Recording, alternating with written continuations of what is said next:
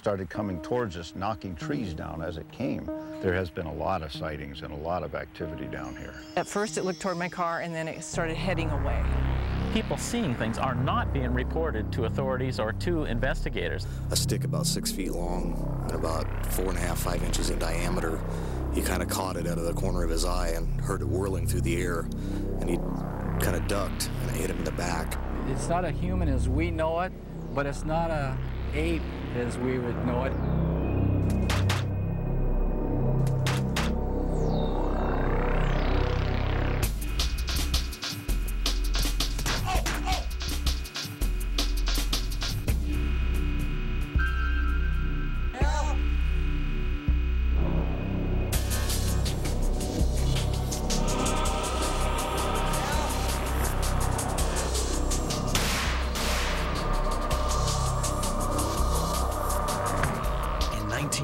1924, gold prospector Fred Beck claims to have shot a large, hairy, ape-like creature near Mount St. Helens in what is now called Ape Canyon. The miner's cabin was attacked at night with a hail of stones. They had failed to heed warnings from Native Americans who shunned the area out of fear and reverence for these alleged creatures. It isn't that I believe it exists. I've seen this with my own two eyes. It, it isn't a belief, it's a fact. I know it exists. I've seen it. It's there. It turned a non-believer into a believer that fast. I'm positive of what I saw. I, I don't think it could have been anything else. The Encounters team has come to the base of Mount St. Helens in Washington state in an attempt to discover the truth behind legends of these hairy giants. Creatures Fred Beck and others knew as mountain devils. I believe there's a lot of people out there who have had sightings that are not getting the information out. Cryptozoologist by profession and driven by her own mysterious encounter, Autumn Williams travels the world. Thousands of people can't have seen something that doesn't exist. All we need is proof. Sometimes at dawn, or the edge of dusk, there's a fleeting glimpse of an impossible sight. Do you have it? I get it. I see it. Let go! What's the range? The are real. The technology cutting edge. Are you ready for mysterious encounters?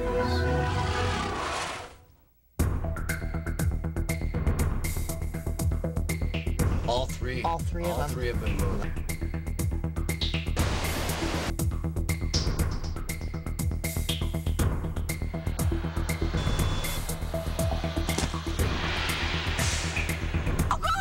this! Go! Go, go, go! Stories of mountain devils date back hundreds of years and are plentiful in Indian folklore.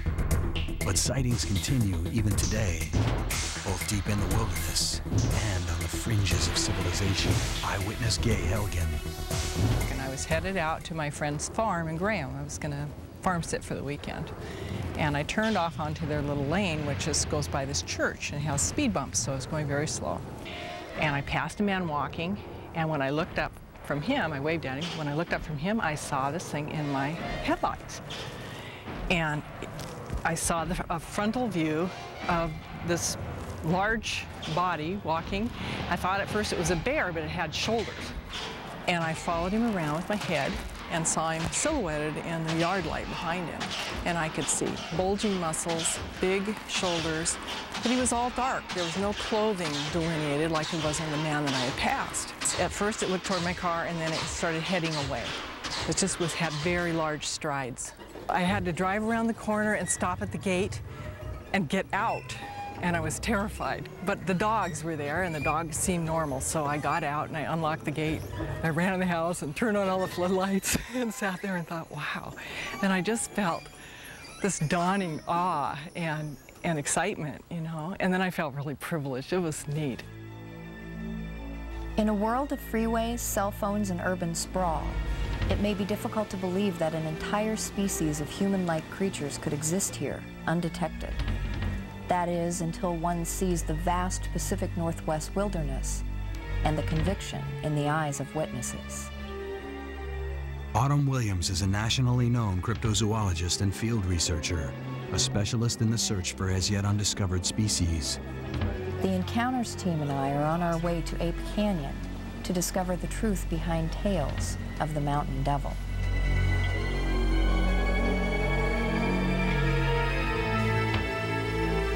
The Mount St. Helens area has long been a hotbed for sightings. You're okay there. Here, these creatures are known as mountain devils.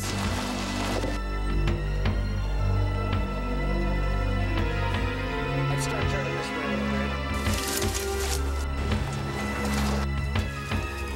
way. Each Native American tribe had a name for these creatures in their language. These names all loosely translate to devil.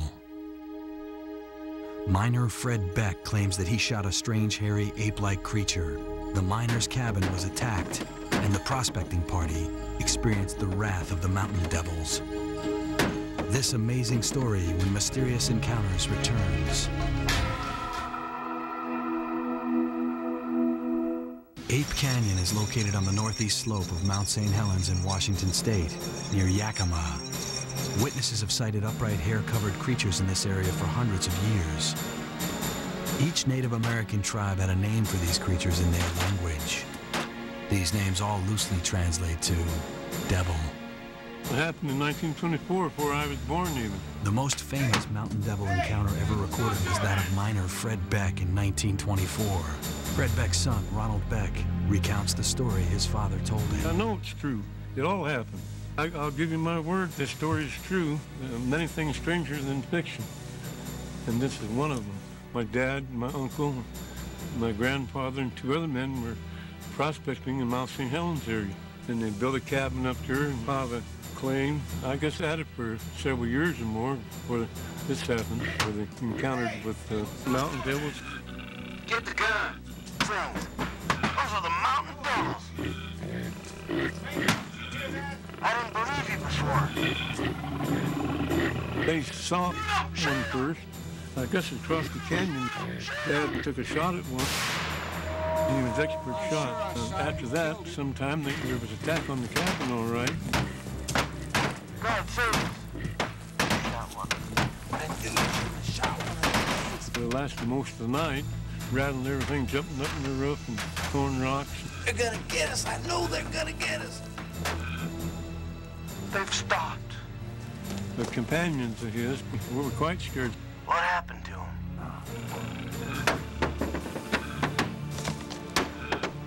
We attacked on the cabin nest all night until about the next day in the morning when it quit.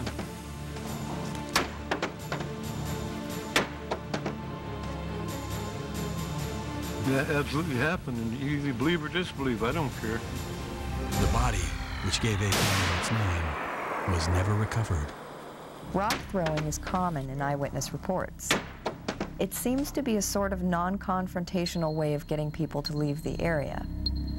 Stories of actual physical violence are few and far between, and are usually in retaliation to some harm done to the creatures. Eyewitness stories like Fred Beck's are intriguing from an anecdotal standpoint. But what about visual evidence?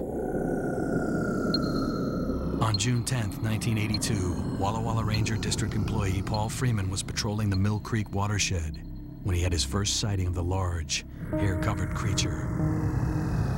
Although subsequent harassment caused Freeman to quit his job at the Ranger District, he continued his efforts to prove the creature's existence. In 1994, he obtained this footage.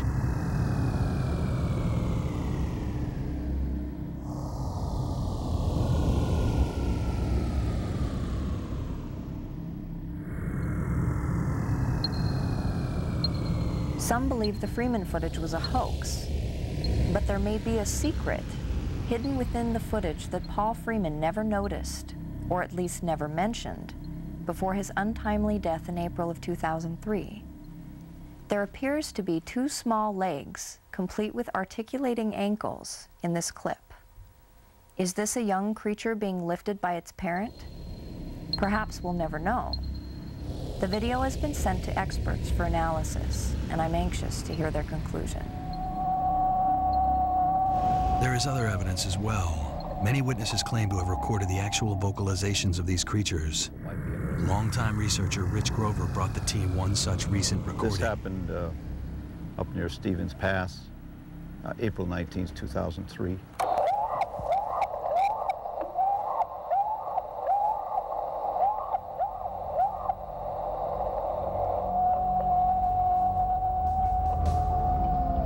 The Encounters team is here to find new evidence of their own, and they have brought a wealth of technology to aid them in their hunt for the Mountain Devil, including an array of infrared cameras that will be strategically placed. This is live surveillance at its finest.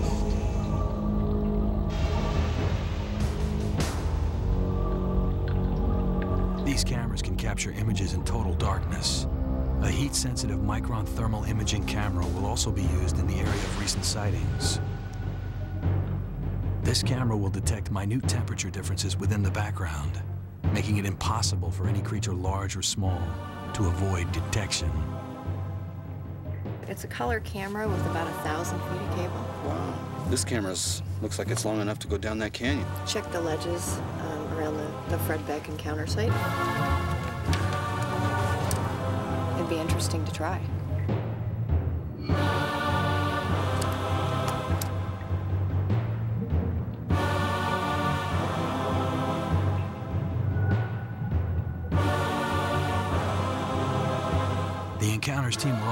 Broadcast sound recordings similar to those provided to the team as evidence.